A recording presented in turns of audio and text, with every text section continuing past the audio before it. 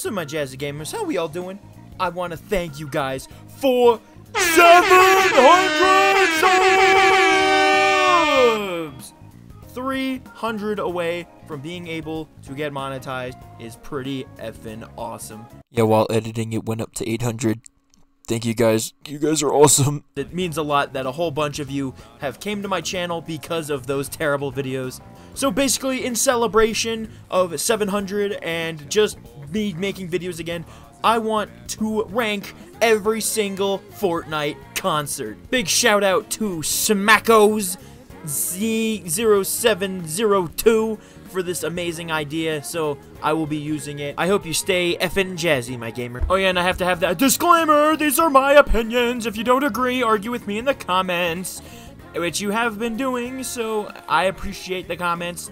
Yeah, just whatever. When I think of Fortnite concerts, I think of this like kind of grand event to go to. So I only counted the ones that were significant enough to be an event that you go to. So I didn't really count the Party Royale concerts because they were just, you know, just Party Royale.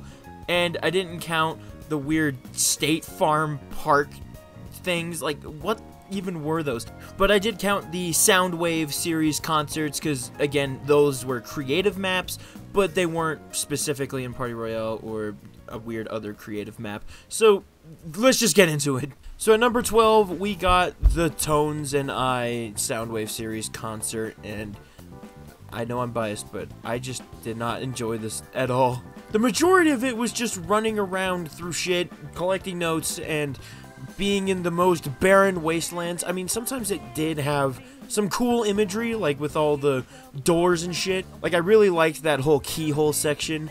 But then, you're just in a desert, just standing there, and it's just boring.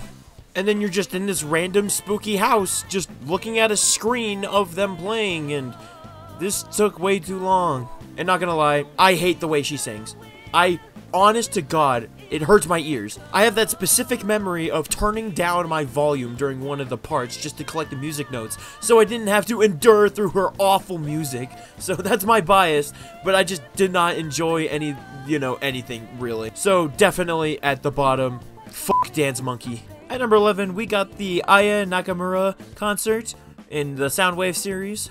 I totally butchered her name, I'm sorry. This concert was a million times better than the Tones and I concert, but it kind of had the same thing with the Soundwave series where it was just, wow, look at a screen. Wow, go to the next room. Wow, go to the next area. Collect a note. Look at the screen again. It, it wasn't that bad. It just left no impression on me, and it wasn't that grand of an experience. So, number 11, I guess, again, I don't I don't know. At number 10, we got Gen Hoshino's concert. If the last one was, wow, go to the next room, wow, collect a note. This concert was just, wow, stay in the same area, but do different things all around it. The only reason I placed it higher was because his music is such a bop, man. I know I'm biased because I love Japanese music, but holy crap, his music was just such a vibe that I found myself just chilling there, listening to the song and bobbing my head, just absolutely entranced. But yeah, number 10. Again, not that crazy of an experience. Then rounding out the Soundwave series, we got Emicida at number 9. Again, I'm sorry if I pronounced it wrong. And although his concert was also just, wow, look at the screen with him performing, wow, run around areas, wow, collect music notes. I would just say it's a little, it's a smidge better, just a little smidge better. Even though I like Gen Hoshino's music a little more, I feel like his was a little more interactive, I guess. So, eh, number 9, fair enough, right? At number 8, we got the most recent Karol G concert, and I just, I'm just so goddamn conflicted with this one. This has got to be one of the most randomest and weirdest concerts in all of Fortnite. This was just such a weird experience. I felt like I was on acid the entire goddamn time.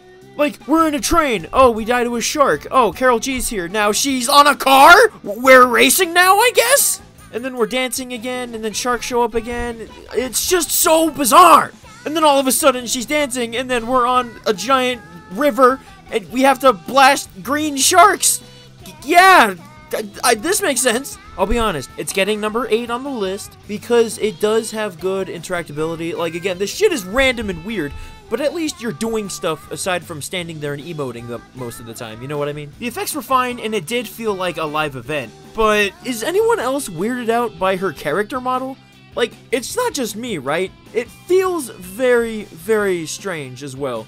Like, her face is a little messed up compared to the actual skin, and the way that her model is moving, it just doesn't feel right. You know what I mean? And why is her ass so big? Like, it, it's not just me!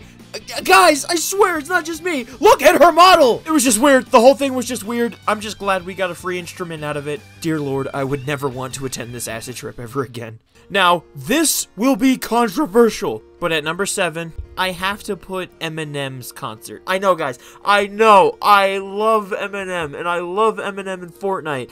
And it was so cool the way that he introduced Fortnite Festival. And again, I get that he was part of a bigger event that also showed off the rocket racing and the Lego mode, but I feel like we could have had a way bigger concert with Eminem. We only got to listen to two songs, which was Lose Yourself, which, by the way, is still not a jam track, and Godzilla, which I admit, the Godzilla part was actually pretty cool. I really enjoyed that visual of Eminem destroying the world as a giant monster. Like, so many of those frames were just awesome wallpaper material, and I really enjoyed listening to Godzilla. But as soon as Eminem started getting up in your face, it was kind of awkward to watch. Like, all you see was just this giant Marshall Mathers, and it was just so weird. But I still appreciate that we got Eminem in Fortnite. It just wasn't one of the better concerts. I again, don't get me wrong, guys. I love Eminem and I love Godzilla, and his rap part is just so unbelievably amazing. But this was just a weaker concert compared to the other live event concerts. Now, number six, this was an event that I personally forgot about, and it was the Easy Life B concert back in Chapter 2, Season 7. After rewatching it and remembering this concert, not gonna lie, it wasn't half bad at all. It had some of those Soundwave concert ass things like, oh, go to this area, watch a screen, go to this area. But this one was a little more chill, and it was one of the first of its kind. Like, this music was extremely, extremely chill, and you even got that free music pack, which was pretty much a W. Overall, I can't say anything bad about this little concert, just because it's it's not bad at all. It doesn't do anything remarkable like the, the next one's coming up, but it's pretty good. It had some okay imagery and some pretty okay interactivity, and overall, it was just pretty chill, so middle of the list is pretty fine. Now at number 5, we got the Ariana Grande concert. Looking back at my footage, this was just such a weird ass concert. Not weirder than Karol G's, but still pretty damn weird. And Ariana Grande wasn't even the only music artist. At the very beginning, you got Juice WRLD playing his song Come and Go as you're sliding through this weird goopy area with the wacky waving inflatable arm flailing tube men. Then all of a sudden you fly in and boom, you're in Troll Pube land. Like, it was so weird, but hey, you got the free umbrella. But the one thing I did love was the new animation for twirling and spinning in the air. I don't know what it was, just being bouncy and twirling was really fun to me. And if you thought the Ariana Grande concert needed a freaking plane shooter, then you guys were in hella luck. Like, you were shooting against the Storm King and it was really fun, but why the hell was this here? But I won because I am a beast. But then it gets into this whole weird section where you're getting revived by a bunch of Fortnite skins and then you're resing Brite Bomber and you're just having this wonderful, glorious moment. And then that's when Ariana Grande shows up. And not gonna lie, when she shows up, that's when the concert goes kind of downhill. I know it's just my bias, but I wasn't excited to see her at all. And not gonna lie, her music wasn't that great. but music bias aside, after she shows up, it just kind of slows down. Like, there's not enough interactivity between all the stuff. It's mainly just, wow, bounce around. Wow, fly around. Wow, walk up a lot of stairs. Seriously, I hate the stair part. I don't know what it is, but just going up the stairs, watching her go up the stairs, it was so boring. But the finale was pretty good. Like, I love the whole galaxy theme. And again, bouncing and twirling around was a lot of fun for me. The effects all around in this concert were pretty dang good, and definitely live event worthy. But compared to the other ones next upcoming, This one was just the weaker of the actual live ones. Even though I'm super biased, I still thought it was a fun time. Oh yeah, at the very end, I spent a long time going through all the unicorn rings as well. So, that was semi-fun. So I think number five is definitely what this concert deserves. Now at number four, we got the Kid Wait. What the hell just happened? Where'd my video go? Wait a minute. I can't control... I can't... I can't control shit. What's going on? It's time to get out of here, bro. It's over. It's all me now. No! I Don't take over my video! Please! No! Kid Amusement Leroy! No! anyway, at number four, I put the Kid LAROI's concert. Now, right at the beginning, I thought this concert was gonna be dog shit. Like, just seeing him land from loot boxes and just be on TV screens in this weird city was kind of terrible. I did not enjoy the beginning of it. But then it started ramping up a little bit. When the Kid LAROI actually, you know, invite you into my humble home. it started getting pretty fun because he gave you a sledgehammer so you can smash the shit out of his humble home. And then landing in the city and getting chased by the giant lava dog was actually pretty cool. I enjoyed just running and sprinting, parkouring through that entire city. And the interactivity didn't stop because there was this little weird mini game where you had to click the circles. And then this is like the stair part in Ariana Grande's, but you're actually parkouring up all these stairs. And the visuals are actually really nice. I enjoyed Kid LAROI floating to the very top as I'm running around these stairs. Or these weird wooden platforms, at least. And then, low-key, was not expecting an actual boss fight with that same lava hound. And it was pretty cool, because I really like Love Again, so it was a nice little part. And then the end was my favorite because it turned itself into an actual concert with a lot of people around, and you were flying around hitting beach balls and just seeing him perform, and it was overall a pretty good time. This concert was definitely a weird one, but overall, it had some good merit to it, and it was also around for a couple months, so anytime you wanted, you could have just went in and played the Kid LAROI concert, so I replayed it a lot. But yeah, just because of that and everything I talked about, I think it definitely deserves number four.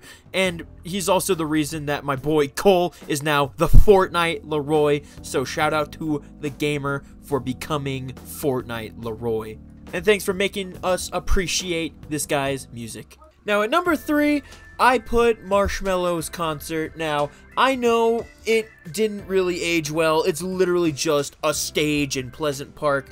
But you gotta appreciate the simplicity and the fact that it was truly the first Fortnite concert. Like, the amount of nostalgia boners that every Chapter 1 Season 7 player is getting pretty much makes this deserving of number 3. But not for real though. This felt like Party Royale before Party Royale became Party Royale. Just all these random skins coming together, emoting together, doing sprays, doing these toys, and then Marshmello coming out doing all these fun effects, and then you just bouncing randomly. It just felt so grand for its time. And then you had Travis Scott who just blew up all that proportion, rose the bar so high, but we'll talk about that later. Nostalgia boner aside, this was just overall pretty fun too. It was really fun seeing Marshmello on the stage and actually going up to the stage, bouncing around, and then him dropping those yellow balls was also, you know, it was pretty sweet. It was, it, again, it's nothing compared to today, but for the time, it was just so fun. And Marshmello's music brings that whole DJ playing to an entire audience as the audience is raising their hands, having fun kind of vibe. True dance party vibes. Can't really say that for Ariana Grande. So I think it deserves number three, but again, that's just my opinion. If you guys disagree, please tell me in the comments and please start some nice jazzy discussions. At number two, we got the Metallica concert. Right at the start, you are put in essentially rocket racing to race to the actual concert. And then it pulls the Marshmello thing where you're actually just watching the guys on stage performing. And then it teleports you to this giant place, and you see these giant bells swinging back and forth, and you have to parkour your way across those bells as For Whom the Bell Tolls is playing. Then again, it's like Ariana Grande where you're going up all these stairs, but you have to keep bouncing off of the freaking things of the clock as you see the guys hardcore jamming. And then you open a portal and see a little glimpse at the Puppet Master. But then you're quite literally riding the lightning to ride the lightning. And you just see the silhouettes of the guys in the fog as you jump between each fret string on the guitar, trying to engulf some lightning. Then all of a sudden it becomes a shooter and you actually have to kill this giant creepy puppet master. And holy shit, we're not even done. And then you're teleported to this giant ass freaking concert area trying to go down the stairs to finally meet them back on stage, finish performing. And guys, I'm sorry, my boner is so huge for this concert because the effects were freaking phenomenal. The interactivity was there. It kept leaving you on your toes and you barely had a second to just chill and emote. And the fact that the music so perfectly matched what was happening was just amazing. Like again, for the bell tolls, you're just going across a whole bunch of different bells and going up a clock. Ride the lightning, you're quite literally riding lightning. And then the master of puppets, you're killing the puppet master. And then they finish it off with Enter Sandman, and it was just very freaking sweet. As a Metallica fan, this was just so unbelievably amazing.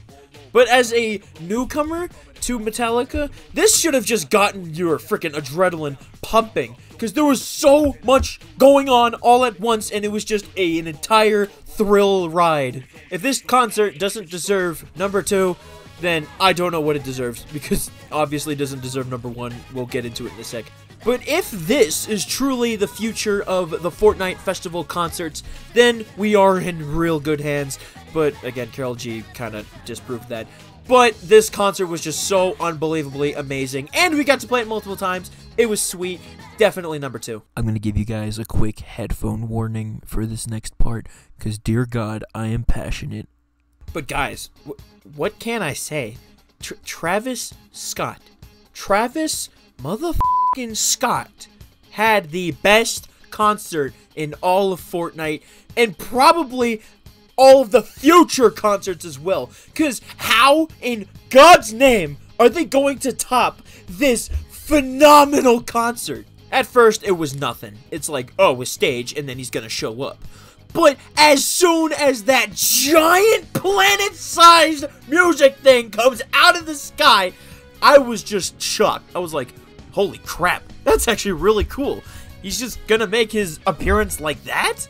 But then the giant purple light beam of energy comes out and drops down, and everyone flies up as you see this giant behemoth Travis Scott, and he starts going crazy to sicko mode. As soon as I saw that he was giant, I knew that this concert was going to slap so unbelievably hard. All of a sudden, the man is bigger than the world itself and starts walking around, and then he grabs two sparks of light, smashes them together, and then there's this giant flash of light, and then the entire thing changes to fire. It slowly starts changing, and you see these roller coasters and everything in the background, and the freaking sky is lit up with shooting stars. The man starts glitching out and jumps, and immediately it goes to goosebumps, and the entire scene changes again. A whole color palette swap. And then the colors change even more to all these crazy neon lights flashing everywhere.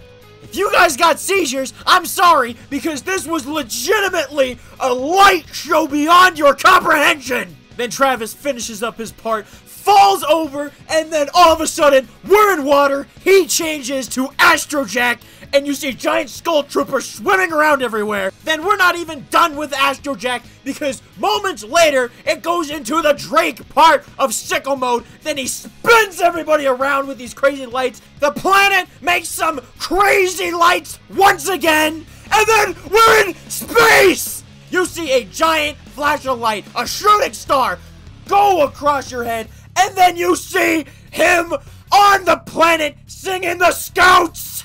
You just saw the entire concert become intergalactic!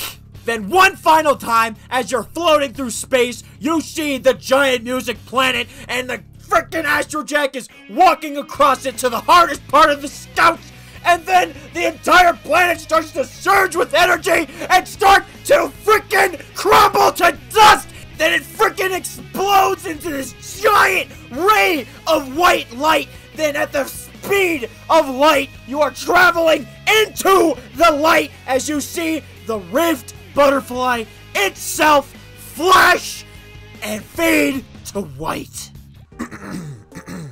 I apologize. I was not expecting to scream out of my mind about this concert. I've watched it before and I got really hyped about it. It was really amazing. But going through each individual section like that just truly makes me believe that this is definitely the best concert. The effects are second to none. No other concert has been able to match the level of effects that this concert truly brings. And granted, you're not shooting anything or doing a mini game, you're just watching Travis. But he brings the absolute hype with every single switch of effects and every single switch of song.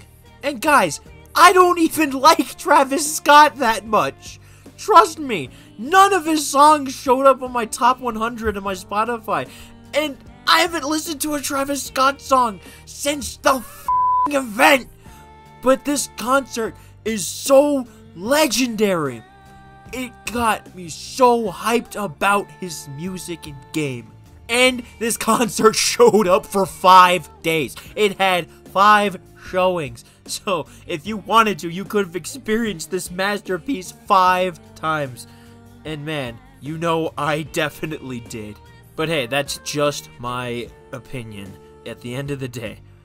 And granted, I'm super goddamn passionate about that opinion. I'm still down to listen to your guys' views. I can't, no! Screw you guys! This concert is freaking amazing, and nobody can say otherwise! You hear me? Travis Scott's concert is second to none!